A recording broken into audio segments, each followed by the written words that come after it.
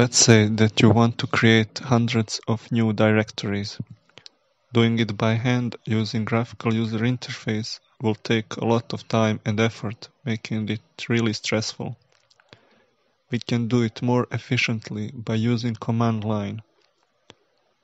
There are many ways to do it and this is just one of them. We are going to accomplish this task by using the power of the for loop. We can create for loop using following syntax.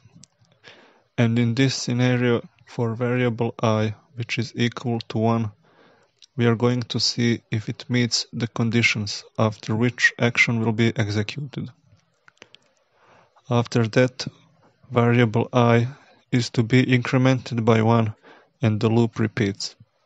Please note that we separate actions by the use of semicolon and to access variable we use dollar sign.